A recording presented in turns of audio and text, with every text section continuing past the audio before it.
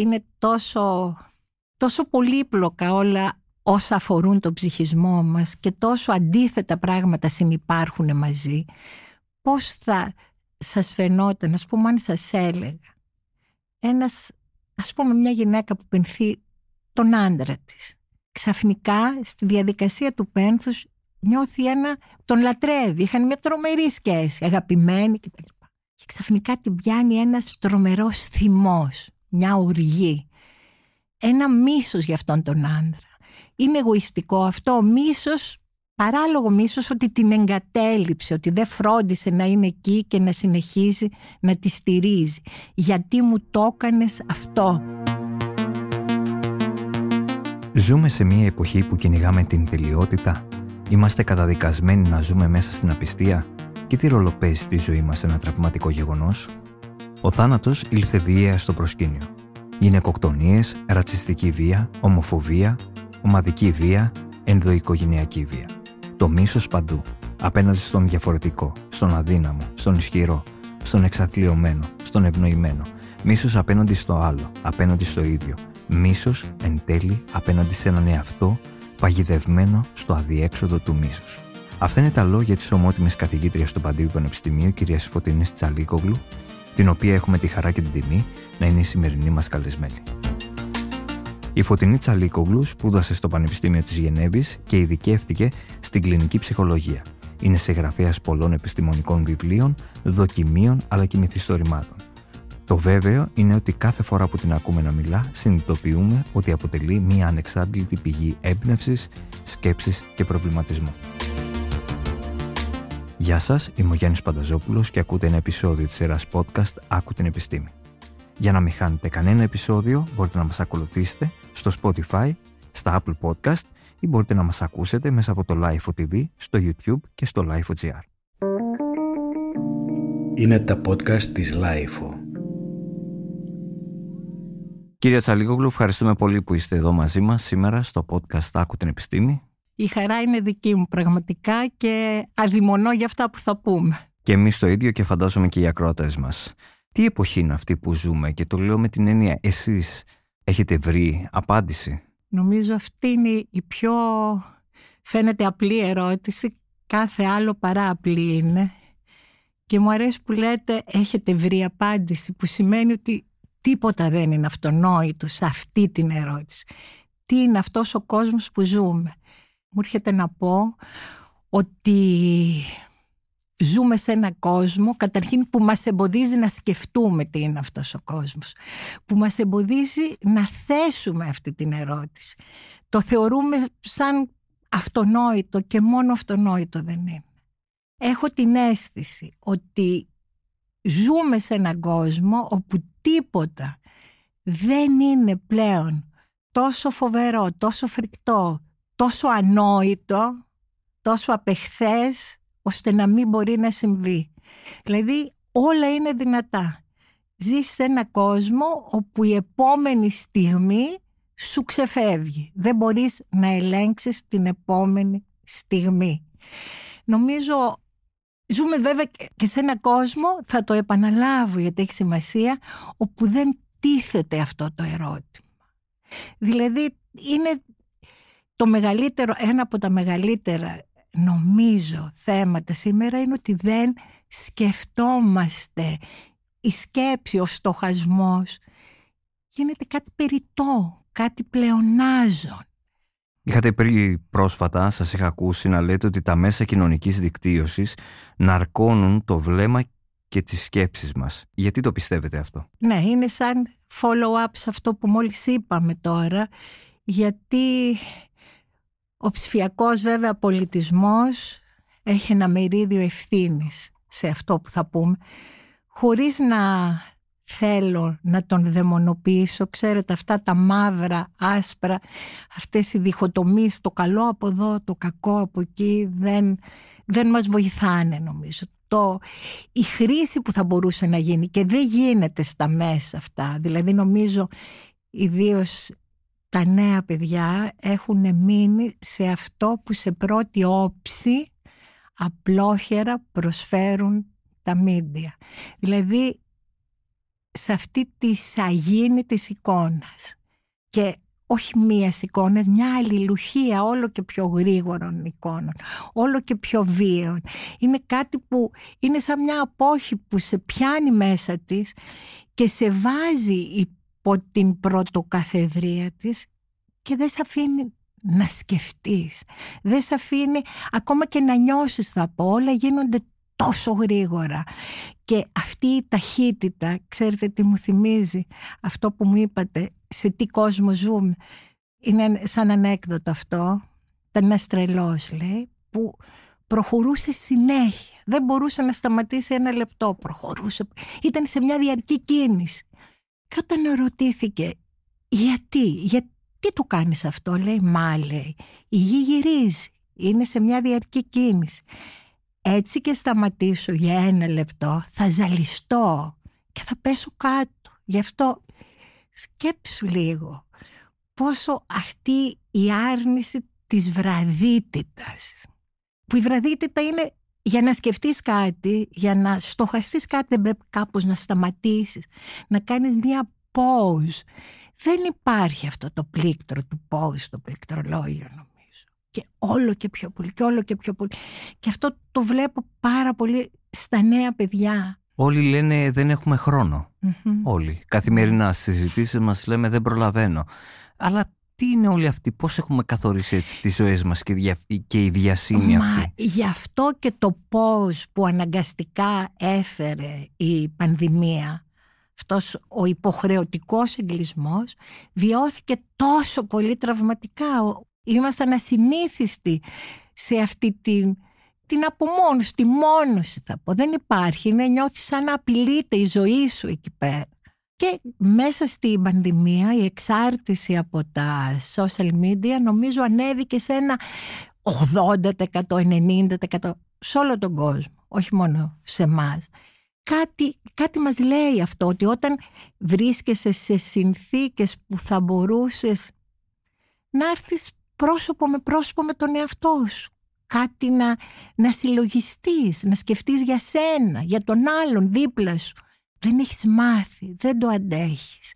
Και εκεί πέρα η, η έτοιμη καταφυγή και η πολύ σαγηνευτική και δελεαστική καταφυγή είναι τα media, το TikTok, τα Instagram. Πριν πάμε στα ναι. social media, γιατί το βία γύρω μας; Μα ακόμα και αυτά που λέμε, το να μην μπορείς να διαχειριστείς ας πούμε μία συνθήκη, επανέρχομαι στην πανδημία γιατί είναι ενδιαφέρον και σαν μοντέλο να, να αναφερθούμε σε αυτό, όπου εκεί είχαμε να διαπραγματευτούμε το θέμα του θανάτου, το άγχος του θανάτου. Από την αρχή ήρθαμε αντιμέτωποι, πάλι μέσα από τα μίντια μας φέρανε σε επαφή με τρομακτικές εικόνες βίας του πιο αγχογόνου φαντάσματος που υπάρχει στη ζωή μας που είναι το φάντασμα του θανάτου. Ήρθαμε σε επαφή λοιπόν με αυτό. Λοιπόν, νομίζω ότι είναι κάτι που δεν έχουμε μάθει να διαχειριζόμαστε, δηλαδή όλος μας ο πολιτισμός είναι στηριγμένος όλο και πιο πολύ σε μία απόθεση της έννοιας του θανάτου. Δεν έχουμε, ονομάζω αυτή, το έχω πει πολλές φορές, είναι μία λέξη που μου, με βοηθάει πολύ σε αυτά που σκεφτόμαστε. Είναι η λέξη νυπενθές. Μία νυπενθής κοινωνία, δηλαδή μία κοινωνία αρέσκεται, δεν μπορεί παρά να λέει όχι στο θάνατο, δεν μπορεί.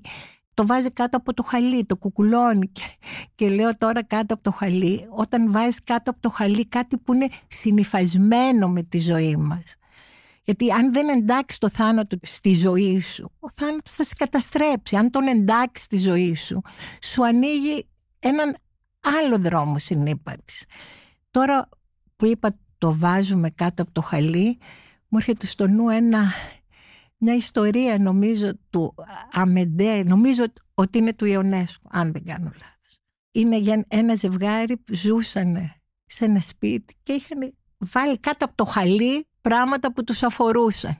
Δεν θέλανε να ξέρουν τίποτα γι' αυτά Με την πάροδο όμως του χρόνου αυτό το χαλί φούσκωνε, φούσκωνε, φούσκωνε. Έπιανε χώρο από το δικό του ζωτικό χώρο. Έπρεπε να μετακινήσουν τα έπιπλα, να τα βάλουν πιο πέρα.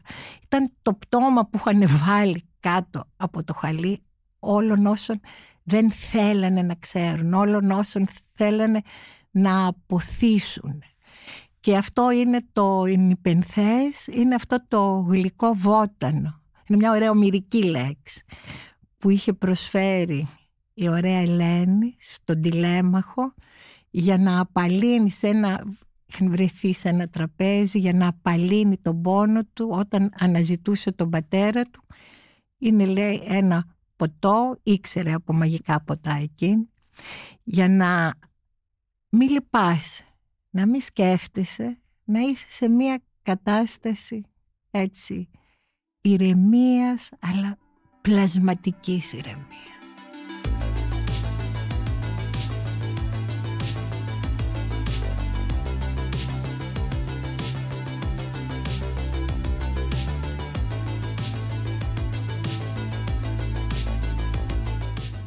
Για το πένθος έχετε μιλήσει πολλές φορές. Είναι μια εγωιστική κατάσταση.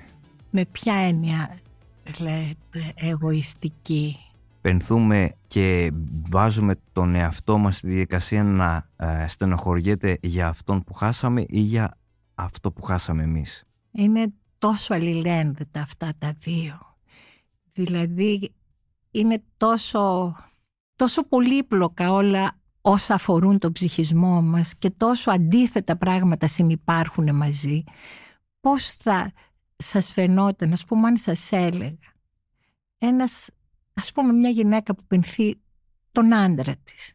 Ξαφνικά στη διαδικασία του πένθους νιώθει ένα, τον λατρεύει, είχαν μια τρομερή σχέση, αγαπημένη κτλ.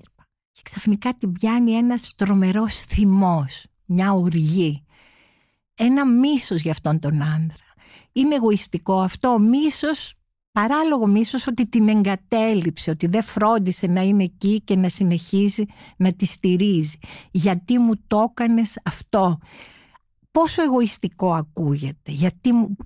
Πολλές φορές το έχω ακούσει αυτό από κάποιον που πενθεί. Γιατί μου το έκανε αυτό; Είναι σαν να ζητάς, κάνεις υπεύθυνο αυτόν που έφυγε και βάζεις τον εαυτό σου σε μία σχέση πλήρους εξάρτησης και ανημποριάς. Είναι εγωιστικό αυτό. Θα έλεγα ταυτόχρονα είναι και ανθρώπινο. Αν πούμε ότι τίποτα το ανθρώπινο δεν μου είναι ξένο, αυτό το όχι ξένο μας κάνει και λίγο πιο, πώς να το πω, πιο συμπονετικούς απέναντι στους ανθρώπους. Δηλαδή εγώ να σπεύσω να πω αυτή τη γυναίκα που μπορεί να με θυμώνει, γιατί το έχω ακούσει πολύ συχνά αυτό, μπορεί να με θυμώνει, αλλά ταυτόχρονα καταλαβαίνω τον δικών της το σπαραγμό και αν ηθικοποιούμε αυτά τα πράγματα. Δηλαδή εγώ όταν ακούω να λένε ότι το φυσιολογικό πένθος που κρατάει έξι μήνες, έξι μήνες και μια μέρα δηλαδή τι έγινε; Έπαψε το πένθος να είναι φυσιολογικό. Δηλαδή πόσα πράγματα χωράει αυτό το είμαι άνθρωπος και πόσα πράγματα αξίζει να χωράει. Φέρνω πάλι στο νου μου, έχει μια καταπληκτική εικόνα, μια σκηνή καταπληκτική στους αδελφούς Καραμαζόφ, ο Ντοστογεύσκη, που λέει, για τον ονομάζει ενοραματιστής. Είναι ένας άνθρωπος, λέει, σε ένα χιονισμένο δάσος. Δεν κάνει τίποτα, σκέφτεται και αποθυσαυρίζει φιλάργυρα τις σκηνές γύρω του, τα φύλλα, τα δέντρα. Μπορεί να περάσει καιρό εκεί. Τι θα κάνει, λέει αυτός ο άνθρωπος. Λέει. Μπορεί να πάει στην Ιερουσαλήμ να σώσει την ψυχή του μετά από όλο αυτό τον καιρό. Μπορεί όμως να γυρίσει στο χωριό του και να κάψει στο χωριό του, να βάλει φωτιά στο χωριό του. Ή μπορεί λέει να κάνει και το ένα και το άλλο. Και αυτός ο τρομερός ανθρώπινης ψυχής λέει στον κόσμο μας υπάρχουν πολλοί τέτοιοι οραματιστές. Δηλαδή μέσα μας είναι χωράνε, είναι μια πολύ ευρύχωρη έννοια. Γιάννη, η έννοια του ανθρώπου. Χωράει απίστευτα πράγματα. Και όσο πάμε να τη στριμώξουμε και να τη βάλουμε έτσι σε καλά τακτοποιημένα κουτάκια, κάπου αποκοβόμαστε εμείς από τον εαυτό μας που είναι πάντα πολύ πιο σκοτεινός θα πω αλλά και μπορεί να είναι και πιο φωτεινός ταυτόχρονα. Γιατί οι άνθρωποι δυσκολεύονται να μεταβολήσουν, αν μπορώ να το πω έτσι, την απώλεια; Όλοι μας περιστοιχιζόμαστε από απώλειες συνεχώς. Γιατί ο τρόπος που θα μπορούσαν να το κάνουν. Η απώλεια κρύβει ένα μεγάλο δώρο, θα το πω, με τα λόγου γνώσεως ή μάλλον τη δυνατότητα ενός μεγάλου δώρου, που είναι να μεταμορφωθεί, να μετουσιωθεί, να γίνει δημιουργικότητα. Απόλυα, δημιουργία είναι το δίπολο ας πούμε που έχει, που έχει παίξει πάρα πολύ ρόλο στη σκέψη μου εδώ και πάρα πολύ καιρό. Πιστεύω ότι οι άνθρωποι, πολλοί από μας δεν έχουμε τη δυνατότητα αυτής της μορφοποιούσας δύναμης. Αυτή τη δυνατότητα να, να μεταμορφώνουμε κάτι πολύ οδυνηρό, να αντλήσουμε αυτή τη δύναμη και να διοχετεύσουμε δεν λέω να κάνουμε ένα σπουδαίο έργο τέχνης προς Θεού να κάνουμε κάτι που θα, θα μεταμορφώσει την πραγματικότητα έτσι όπως τη ζούμε δεν είμαστε λίγο σε αυτά είμαστε άμαθοι αναλφάβητοι της απώλειας θα το πω δεν δεν έχουμε μάθει, δεν έχουμε τολμήσει, δεν έχουμε εκπαιδευτεί, δεν ξέρω. Υπάρχουν και πράγματα, η δημιουργία πάντα βέβαια κρατάει ένα δικό της ένιγμα. Δεν είναι ένα αποκρυπτογραφημένο χαρτί, ας πούμε, η δημιουργία. Και εδώ μου έρχεται, μου έρχεται μια εικόνα στο μυαλό να πω. Να μας την πείτε, εννοείται. Έχει να κάνει με τον Γιάννη τον Κασπύρη και με μια ίσως από τα πιο σημαντικά πράγματα που έχω κάνει, έχω συμμετάσχει στη ζωή. Είναι αυτή η έκθεση που είχαμε κάνει και με την Κατερίνα Κοσκινά το 2004 στην άλλη όχθη. Ήταν μια έκθεση που συγκέντρωνε από όλα τα μέρη του κόσμου έργα τέχνης, δημιουργήματα, εγκλεισμένων σε ψυχιατρία ψυχικά ασθενών από όλο τον κόσμο. Ήταν μια έκθεση μοναδική γιατί ακριβώς αυτό που λέμε τώρα βλέπεις ο υπέρτατος εγκλισμός σε μια διαταραχή του μυαλού και σε ένα ίδρυμα μέσα πόσο δεν μπορεί να σου ακυρώσει το θέμα τη δημιουργικότητα. Με αυτή την έννοια είχε κάτι πάρα πολύ αισιόδοξο. Πάρα πολύ αισιόδοξο αυτή η έκθεση. Εκεί λοιπόν ένα από τα πιο συγκλονιστικά εκθέματα αφορούσε έναν δικό μας δημιουργό και δεν μπορώ να το ξεχάσω, έχει μείνει καρφωμένο στο μυαλό μου. Είμαστε λοιπόν με τον Γιάννη τον Κασπίρη, το σκηνοθέτη και μπαίνουμε στο Δαφνί. Είχαμε πάρει ειδικές άδειες και αυτά εξοπλισμένοι με μηχανές και αυτά και με το που μπαίνουμε στο προάβλιο με τη γνωστή εικόνα των ψυχιατρίων, οι άνθρωποι που ζητάνε τσιγάρα, που περιφέρονται και στο βάθος κραυγές ήταν το περίπτερο με τα βαριά περιστατικά. Σαν μας υπνοτίζουν οι κραυγές, κατευθυνόμαστε προς τα εκεί, μπαίνουμε μέσα ένα θάλαμο με παρατεταγμένα σιδερένια κρεβάτια, τα γνωστή ασυλιακή εικόνα, τότε μιλάω για το 2004, και εκεί αρχίζει η αντίστροφη μέτρηση για μας, η έκπληξη. Όλη η τύχη ήταν χαραγμένη, σαν να αναπαριστούν κοιτούσε λεωφόρους, πόλεις, ήταν μια πόλη χαραγμένη. Λέμε ποιος το έκανε, ήρθε κάποιος, φωνάξανε κάποιον καλλιτέχνη να τους φτιάξει, καμία σχέση. Και εκείνη τη στιγμή έρχεται ένας ε, ο Μιχάλης, ένας σχιζοφρενής, άτομο με σχιζοφρένεια τα λέμε τώρα, χάρη πολιτικής ορθότητας. Έρχεται λοιπόν ο Μιχάλης, πολύ, ήταν από αυτούς που έχουν μια τρομακτική ευχέρεια στο λόγο και λέει θέλετε να σας δείξω ποιος τα έκανε όλα αυτά; Ναι. Και είναι στη γωνία ένα νεαρό παιδί γύρω στα 20 χρονών, ο Νίκος. Δεν μιλάει. Είναι αυτιστικός. Γεννήθηκε στο ψυχιατρίο από μάνα τρόφιμο του ψυχιατρίου. Δεν είχε βγει σχεδόν ποτέ από το ψυχιατρίο. Και τι έκανε αυτός ο Μιχάλης, ο άναρθρος Μιχάλης. ξε... επινόησε μόνος του το εργαλείο της ζωγραφικής του. Έβγαλε ένα, μια ξεκόλλησε μια σούστα από το σομιέ, από το κρεβάτι και με αυτή τη σούστα χάραξε τείχους που μένεις πραγματικά έκπληκτος. Δεν είχε βγει ποτέ, δεν είχε διδαχτεί ποτέ, είχε πάει ποτέ σχολείο, δεν μπορούσε να μιλήσει. Και είχε όλο πολιτείες δρόμοι με προοπτική. Πού τη διδάχθηκε αυτή την προοπτική; Τον φέρνει λοιπόν κοντά μας, τον πιάνει από το χέρι ο Μιχάλης, τον φέρνει κοντά μας και του λέει «Έλα εδώ Νίκο, εσύ τα έκανες όλα αυτά» που νάει το κεφάλι του. «Από πού βγήκανε» του λέει όλα αυτά και δείχνει το κεφάλι του. Είναι εκπληκτική σκηνή. Ευτυχώς νομίζω έχει καταγραφεί κάπου αυτή η σκηνή γιατί με στοιχιώνει αυτή η σκηνή. Από κάπου λέει ήσαν, από κάπου βγήκαν αυτά, λέει στο Μιχάλη. Μήπως από εδώ και του δείχνει το κεφάλι του, το μυαλό του δηλαδή.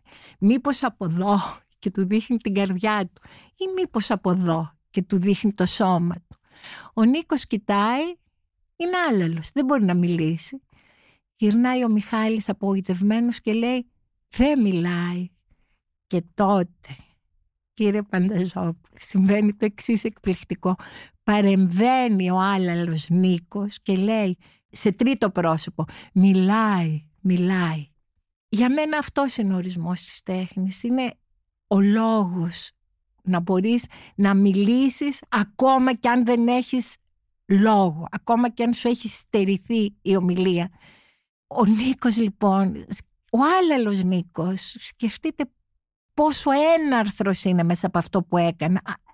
Και εκεί μου έρχεται στο νου αυτό που λέει ο Αρτό, ότι κανείς λέει δεν δημιούργησε τίποτα, δεν ζωγράφισε, δεν έφτιαξε κάποιο γλυπτό ή κάποιο κείμενο ή κάποια ζωγραφική παρά για να βγει από την κόλαση. Δεν χρειάζεται να είμαστε κλεισμένοι στην κόλαση ενός ασυλιακού περιβάλλον. Η τέχνη αυτό που θα φτιάξουμε είναι και μία έξοδος από μία, τον εγκλισμό σε μια σχέση. Ο εγκλισμός σε μια σφικτική πραγματικότητα για να γυρίσουμε στο σήμερα και για να σας πω πόσα πράγματα θα μπορούσαμε αν μπορούσαμε να υπάρχει ένας τρόπος να ευνοηθεί αυτό το πράγμα, να μπει μέσα σε μια σε έναν τρόπο εκπαίδευσης για να μην μένουν στον αέρα όλα αυτά που λένε. Πόσα πράγματα θα μπορούσαμε να είχαμε καταφέρει πραγματικά σε αυτόν τον τόπο εάν καταλαβαίναμε πόσο σημαντικό είναι να διοχετεύουμε στα φυσιολογικά παιδιά, στα λιγότερο φυσιολογικά παιδιά, στους ενήλικες αυτή τη δυνατότητα να μεταμορφώνουμε την οδύνη μας, τον εγκλισμό μας, μεταφορικά μιλώντας, σε μια δημιουργία.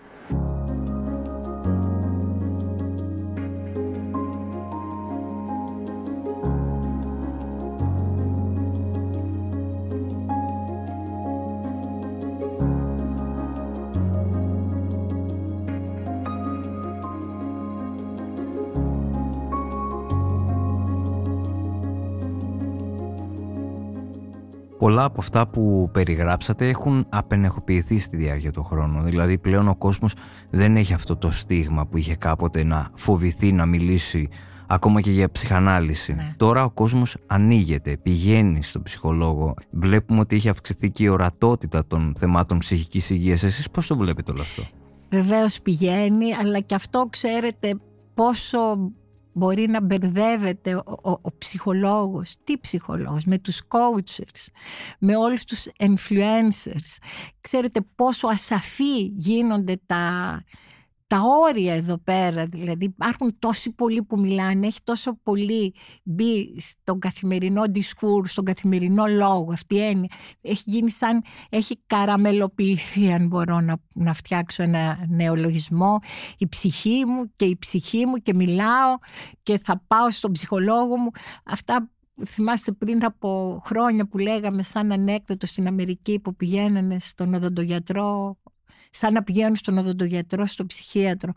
Δεν ξέρω εδώ πραγματικά είναι η εποχή που θα χρειαζόταν τόσο πολύ τι, να έρθεις σε επαφή, να επεξεργαστείς λίγο το, το θέμα της, της επαφής με τον εαυτό σου, το, το ποιος είμαι, της ταυτότητας. Και είναι πολύ σημαντικό, Γιάννη, γιατί η ταυτότητα περιλαμβάνει την ετερότητα. Αυτή η εκπαίδευση στα θέματα του εαυτού μας, υπό όρους ευνοϊκούς, περιλαμβάνει μέσα και τον άλλον. Άρα περιλαμβάνει όλο τον πολιτισμό, την απεύθυνση στον άλλον. Πώς μπορούμε να περιλάβουμε την ετερότητα μέσα στην ταυτότητά μας. Και σκέψου πόσο πολλά, γιατί όλα ενώνονται με αυτά που λέμε, πόσο πολύ η βία είναι ο αποκλεισμός του άλλου της ετερότητας. Δεν μπορούμε να διαχειριστούμε την ετερότητα, μας απειλεί η ετερότητα. Πόσο όλα αυτά συνδέονται. Αυτό όμως το κυνήγι της τελειότητας. Ναι. Γιατί μιλήσατε για τους influencers, μιλήσατε ναι. για τους ε, coachers. Όλο αυτό το κυνήγι της τελειότητας που εντός αγωγικών επιβάλλουν τα μέσα κοινωνικής δικτύωσης, τι ψυχολογικό αποτύπωμα έχουν σε μας. Ξέρω, είναι κυνήγι τελειότητας, είναι κυνήγι αμεριμνησίας, είναι κυνήγι να να μπει ο στοχασμός εκ των πραγμάτων μέσα σε μία παρένθεση είναι ένα κυνήγι που μας προσφέρει εκείνη τη στιγμή ένα νανούρισμα, ας πούμε, όπως το παιδί που νανουρίζεται, αφήνει το φως ανοιχτό, μη, μη μ' το φως ανοιχτό γιατί φοβάμαι. Είναι ένα ανοιχτό φως λοιπόν που εμποδίζει, γιατί ακόμα και τα άγρια όνειρα αν δούμε, χρειάζονται να τα δούμε, έχουν κάποιο νόημα που τα βλέπουμε και τα ακόμα και τα φοβιστικά όνειρα. Αν αφήσεις ένα δυνατό φως ανοιχτό, σου ναρκώνει ακόμα και τη σκέψη, τους συνειρμούς Λοιπόν, είναι ένα δυνατό εκτυφλωτικό φως που εμποδίζει.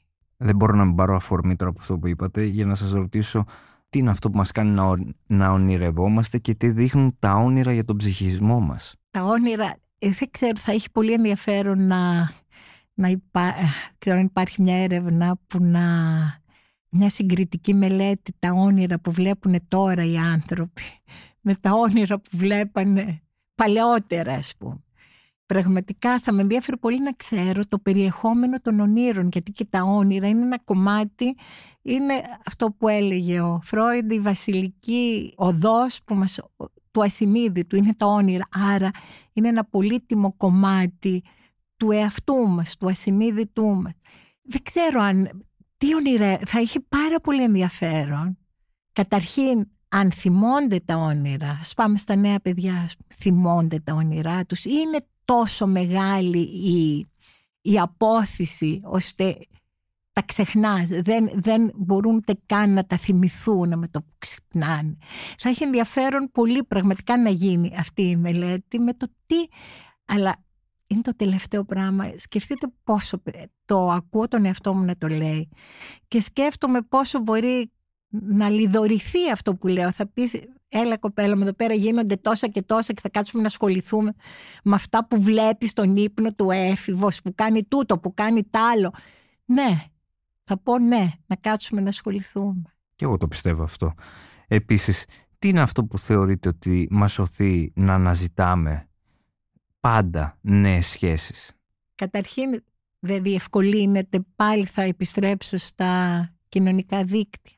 Πατάς ε. ένα κουμπί, delete. Πατάς ένα άλλο κουμπί, ignore. Δηλαδή αφαιρείς, παραβλέπεις, τόσο απλό. Σκεφτείτε αυτά τα κουμπιά να εφαρμόζονται στη σχέση μας. Και βεβαίως δεν δείχνει και ένα φόβο δέσμευσης. Άρα μια ψευδέστηση ελευθερίας. Ότι έχεις εσύ την ελευθερία να μην δεσμεύεσαι μέσα σε μια σχέση. Άρα να κατακτάς μία κακώς εννοούμενη ανεξαρτησία, φοβούμενος τη δέσμευση γιατί κάθε δέσμευση προϋποθέτει και να έρθεις πιο κοντά και στον ίδιο στον εαυτό. Το ζητούμενο είναι να φεύγεις όλο μακριά από όλα αυτά. Οπότε η μία σχέση μετά την άλλη μέσα από μια έτσι μανιακή εκφόρτιση θα πω πάλι του άγχους του θανάτου που είναι εκεί και να θέλουμε να το ξεχάσουμε, εκείνο δεν μας ξεχνάει. Άρα υπάρχει νομίζω εδώ έτσι μία αίσθηση ψευδοπροστασίας με το να αλλάζουμε τη μία σχέση μετά την άλλη, να μην είμαστε πιστοί, η αίσθηση της απιστίας δεν σου δίνει και μία ψευδέστηση αδέσμευτης ελευθερίας. Και νομίζω Γιάννη ότι στην εποχή μας υπέρποτες συγκρούονται αυτές οι δύο αξίες, η αξία, τα αγαθά μπορούμε να πούμε, το αγαθό της ελευθερίας μας με το αγαθό της ασφάλειας. Είναι κονταροχτυπιώνται μεταξύ τους. Δηλαδή, όσο πιο ασφαλείς θέλουμε να νιώθουμε, τόσο πιο ανελεύθεροι είμαστε. Εδώ είναι μια πολύ αγαπημένη μου ιστορία που το λέει τόσο ωραία και παραστατικά για αυτή την δύσκολη διαχείριση αυτών των δύο ενιών, ασφάλεια, ελευθερία. Είναι σαν παραμυθάκι ακούγεται, αν και το έχει πει ο Σόπενάουερ, για τα σκατζοχυράκια. Λέει το εξής μέσα σε μια παγωμένη νύχτα είναι τα σκατζοχυράκια που κινδυνεύουν από το κρύο.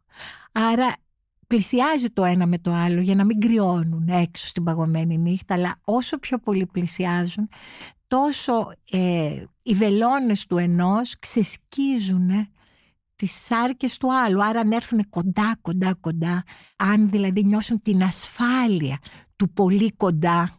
Σκέψου λίγο αυτό που λέμε σε μια ερωτική σχέση. Έλα να γίνουμε ένα, δεν λέμε.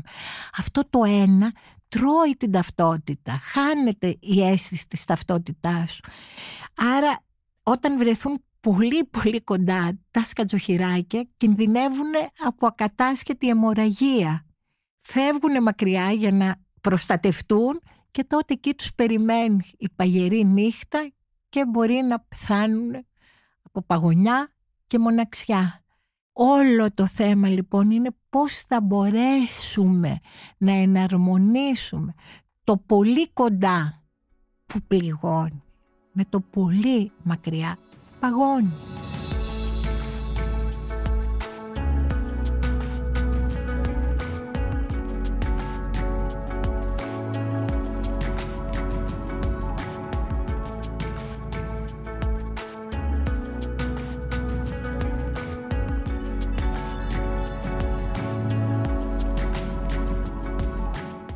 Πόσο καθοριστικά είναι τα πρώτα χρόνια της ζωής μας, τι θα μας λέγατε; Εντάξει, το έχουμε μάθει αυτό λίγο να το λέμε σαν ότι είναι τα πιο καθοριστικά χρόνια της ζωής μας, τα πέντε χρόνια, έχει μπει πλέον στο συλλογικό μας φαντασιακό αυτό. Θα πω βεβαίως και είναι καθοριστικά, αλλά θα πω επίσης ότι δεν είμαστε σε καμία περίπτωση, δεν είμαστε όμοιροι των όποιων τραυμάτων. Τα τραύματα τι σημαίνει. Το τραύμα είναι να χάνεις έναν ασφαλή τόπο, να υπάρχει μια ρογμή στην ασφάλειά σου. Είναι από το ρήμα τραύμα, τιτρόσκο, διαπερνώ, υπάρχει ένα βίαιο ρήγμα στο προστατευτικό περίβλημα του ψυχισμού. Αν ενώσουμε όμως αυτά που λέγαμε πριν για τη δημιουργία και το τραύμα δεν μπορεί να λειτουργήσει σαν ένα έναυσμα, να κάνει μια υπέρβαση, να, να γίνει συγγραφέα της μοίρας σου, δηλαδή να μην την υφίστασε παθητικά.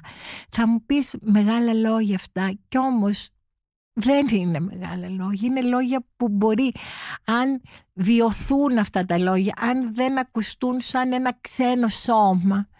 Δηλαδή πραγματικά πιστεύω πολύ στην, το έχω πει πολλές φορές και είναι με στοιχιώνει αυτή η αίσθηση ότι τη σύνδεση του τραύματος με τη δημιουργία που είναι και η έξοδος από το τραύμα και κάπου σαν να σαν επειδή χάνουμε τόσα πράγματα, σαν να μας χρωστάει αυτή η ζωή μέσα από τις απώλειες που μας τροφοδοτεί και σαν να υπάρχει ένα πράγμα που μας κρατάει να κάνουμε, να μας δώσει πίσω κάτι από αυτό που χάνουμε και είναι να μεταμορφώσουμε ακριβώς το τραύμα σε δημιουργία. Και εντάξει, πάνω σε αυτό είναι ένας πίνακας που με έχει στοιχειώσει. Δεν ξέρω, πολύ γνωστός, ίσως θα τον... Είναι του Μαγκρίτ. Έχει κάνει μια σειρά από αυτούς, το λέει «Εραστές» και είναι με ένα λευκό σεντόνι καλυμμένα δύο πρόσωπα. Από μικρή αυτός ο πίνακος τον έβλεπα σε βιβλία τέχνη, σε ε, αντίγραφα. Κάτι μου έκανε, δεν, δεν με τάραζε αυτός ο πίνακας. Όπου όσο πήγα να απαλλαγώ από αυτή την αιμονή τον έβαλα μέσα σε ένα μου μυθιστόρημα αλλά έψαξα να βρω αν έχει κάποια ιστορία αυτός ο πίνακας. Και αυτό που βρήκα είναι ότι όταν ήταν 13 ετών ο Μαγκρίτ, αυτός ο ζωγράφος ο τρομερός, του φέρανε, φέρανε στο σπίτι τυλιγμένο σε ένα λευκό σεντόνι τη μητέρα του η οποία είχε αυτοκτονήσει πέφτοντας στο Σικουάνα. Δεν θέλω να πω πόσο αυτοί οι πίνακες για τον ίδιο το ζωγράφο αλλά και για μας που βλέπουμε πόσο μεταμόρφωσαν ό,τι πιο οδυνηρό πράγμα έζησε πόσο μετουσίωσε αυτό το, το, ε, αυτή την αιμορραγία που έζησε την τραυματική και έκανε μία σειρά από αυτούς ξανά και ξανά και βλέπουμε είναι σαν να αποκαθιστά με έναν τρόπο σαν να παρεμβαίνει σε αυτό το, σε αυτό το δραματικό, το, το απίστευτα δραματικό γεγονός και το αμβλύνει, δεν νομίζω, δεν του χαρίζεται, το αποτυπώνει, αυτή η αποτύπωση. Το να το αποτυπώνει κάπου εκείνη την ώρα από παθητικό αντικείμενο που υφίστασε μία τρομερή συμφορά γίνεσαι υποκείμενο, γίνεσαι συγγραφέας εσύ της μοίρας σου. Είναι σαν να μας το χρωστάει ο Θεός κάπου αυτό. Πριν πάντως που σας ρώτησα για τα καθοριστικά χρόνια και θέλω να μείνω σε αυτό είναι γιατί ε, κάτι ακόμα που θέλω να σας ρωτήσω είναι αν πιστεύετε ότι ο χαρακτήρας του ανθρώπου αλλάζει. Δηλαδή γενικά αν αλλάζει ο άνθρωπος στη διάρκεια των ετών. Γι' αυτό το λέω. Ξέρουμε πόσο σημαντικά είναι τα πρώτα χρόνια αλλά τελικά αυτά είναι η βάση που μας ακολουθεί πάντα αλλά δεν αλλάζει τίποτα, τι γίνεται εκεί; Ευτυχώς θα πω αλλάζει. Υπάρχει μια μεγάλη πλαστικότητα στον οργανισμό μας στον ψυχισμό μας, εδώ υπάρχει στον εγκέφαλό μας μέσα. Ο εγκέφαλός μας μέχρι βαθέως γύρατος μπορεί να μεταμορφώνει με τις συνάψεις, δεν μπαίνω στους χώρους νευρολογίας, αλλά είναι, είναι θαυμαστό το πόσο αλλάζει. Λοιπόν, προφανώς είναι καθοριστικά, αλλά αυτή η καθοριστικότητα δεν είναι τέτοια ώστε να μας καθιστά, όπως είπα και πριν, ομήρους. Άρα η μαγική λέξη κλειδί εδώ είναι η εργασία πάνω στο τραύμα, η επεξεργασία. Το να μπορέσω να το κατανοήσω, να μπορέσω δηλαδή να μην το να μην καταφύγω στην ασφάλεια, δεν θέλω να ξέρω τίποτα, θέλω να το βάλω όλα κάτω από το χαλί, θέλω να είμαι αμέριμνος, αμέριμνη και ωραίοι δηλαδή. Δεν είναι όμορφη αμέριμνη. Το, ακόμα και αν φαίνονται ωραίοι σε ένα καθρέφτη, αν τον καθαρίσει τον καθρέφτη, αρχίζει να φαίνονται πληγές και τραύματα πάνω στο πρόσωπο της αμεριμνησίας. Θέλω να κλείσουμε με το εξής. Τι θεωρείτε σημαντικό στη ζωή; Τι θεωρώ σημαντικό στη ζωή; Μου έρχεται να πω κάτι πάρα πολύ απλό. Να αγαπάς, να σ' αγαπάνε και η δύναμη που σου δίνει και τον αγαπάς και τον αγαπιέσαι να σου προσφέρει ένα άνοιγμα στον κόσμο και να μπορείς να περιλαμβάνεις μέσα από αυτή τη δύναμη που σου δίνει το αγαπώ και αγαπιέμαι να περιλαμβάνεις αυτά τις δυστυχίες του κόσμου. Αν είχατε την επιλογή θα επιλέγατε το αγαπώ ή τον αγαπιέμαι; Φοβούμαι ότι θα πω τον αγαπιέμαι. Αλλά αυτό δείχνει κάτι, μια... κάτι λέει. Αλλά το λέω αυθόρμητα. Για να μην, το, να μην το φτιάξω, το αφήνω αυθόρμητα όπως μου έρχεται. Ψυχαναλυτικά όμως ποιο είναι, πιστεύετε, πιο σημαντικό από τα δύο; Τον αγαπάς ή να αγαπιέσαι; Νομίζω, δεν ξέρω αν το είπε ο Σέξπιρ αυτό ή κακώς το έχω στο μυαλό μου ότι το έχει πει ο Σέξπιρ που λέει To love is nothing. To be loved is something. To love and be loved is everything. Το να αγαπάς δεν είναι τίποτα. Το να αγαπιέσαι είναι κάτι. Το να αγαπάς και να αγαπιέσαι είναι τα πάντα. Κυρία Τσαλίγογλου, θέλω να σας ευχαριστήσω θερμά για όσα ωραία και, και ενδιαφέροντα μας είπατε. Να είστε καλά. Ευχαριστώ.